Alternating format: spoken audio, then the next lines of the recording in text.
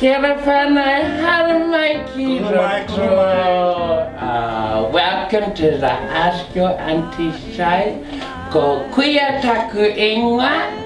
Kia kokoro tēnei. Kelefana. Kera.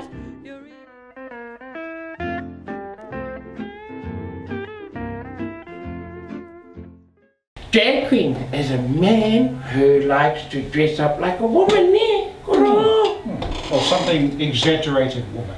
Hmm, impersonating koina te kupu. Uh, female impersonator. Female impersonator.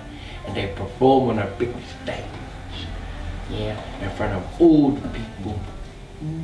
I think one thing you don't get confused is that in most instances drag queens don't want to become women. They think they impersonate women because it's how fabulous that women are. Love women.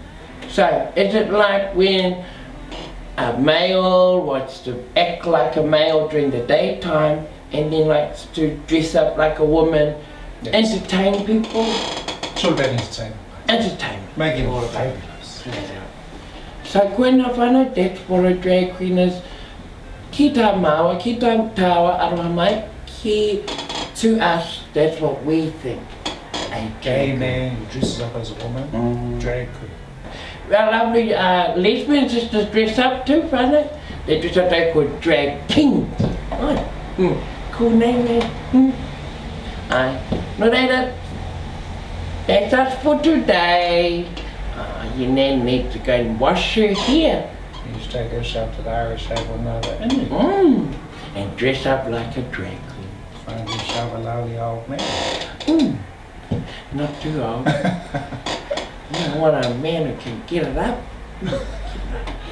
then the name. Larry Conlon. Larry mm-hmm.